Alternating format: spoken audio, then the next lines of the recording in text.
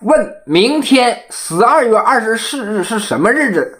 有人说啊，平安夜。你作为中国人，你不合格。我告诉你啊，是这个中国人民志愿军在抗美援朝战场上打败了美国的日子，是长津湖战役胜利的日子，让那个不可一世的美帝国主义啊，让那个五星上将麦克阿瑟折戟于这个抗美援朝战场啊，扬言：“哎呀，那个 圣诞节之前咱们就可以回家，打完收工了。”完了，变成梦想了，一直到他死那天。也那个 郁郁而终，啊，二十五号是什么？这圣诞节，你可拉倒吧！这圣诞就剩下扯淡了。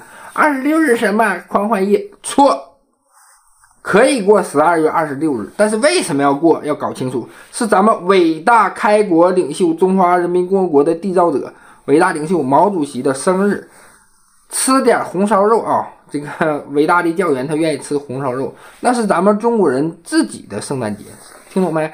不要过那些洋节，不要崇洋媚外，我就不愿意多说了，咱也不上纲上线。